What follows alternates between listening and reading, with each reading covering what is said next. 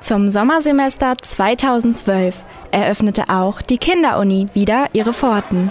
Diesmal mit der Frage, warum kann man das Wetter vorhersagen? Zu diesem Thema referierte jemand, den viele schon aus dem Wetterstudio kannten. Und darum war auch extra ein echtes Fernsehteam mit dabei.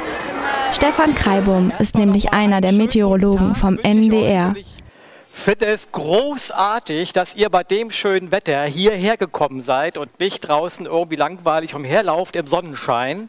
Aber ich möchte auch ein bisschen erklären, wie überhaupt das Wetter funktioniert.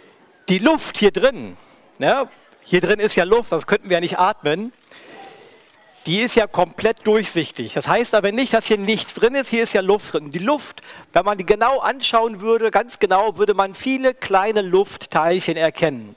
Ihr seid jetzt mal Luftteilchen. Jetzt fangt mal an, euch zu bewegen. Geht mal hier im Kreis ein bisschen hin und her. So, hin und her. Jetzt geht mal ganz schnell hier hin und her. Ja, gut. Und habt ihr was gemerkt?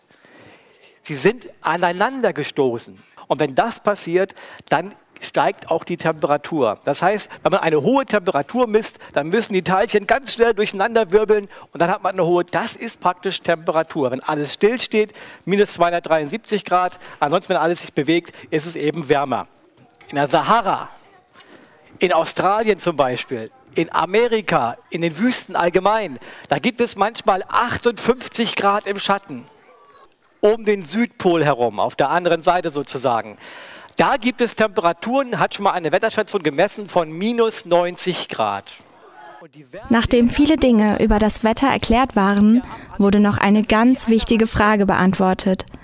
Wozu ist eigentlich der Puschel da? Wer kennt das hier? Ja, das ist der Puschel. Es soll natürlich das Mikrofon vom Wind schützen. Denn wenn man kein Puschel drumherum hätte und es würde Wind sein, würde man gar nichts hören. Ungefähr so hier. Würde man mich nicht verstehen. Ja, so. Ja. Dann wählt das Puschelmikrofon richtig. So stehe ich dann praktisch eben direkt vor dem, äh, vor dem Leuchtturm. Meistens habe ich ihn so auf der Seite neben mir.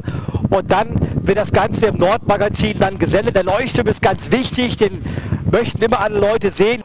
Und wenn der Dienst dann rum ist, dann habe ich Feierabend und freue mich auf den nächsten Tag und dann beginnt alles wieder von vorne. Dankeschön.